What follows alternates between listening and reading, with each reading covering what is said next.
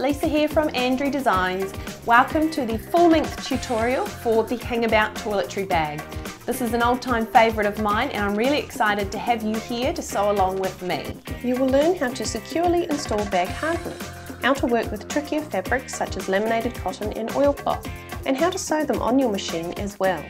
I will show you how to work with less common fabrics including bag mesh and step you through creating some beautiful zipper pockets. You will learn how to find and mark quarter points on a gusset accurately and then how to ease the gusset into place ready to sew, how to attach gussets to their panels at your machine and how to secure a lining so it doesn't sag once your bag is finished. So have a look at the pattern instructions, choose what pieces you want to include and get started with cutting out those pieces and then we'll get into making it. So let's get started.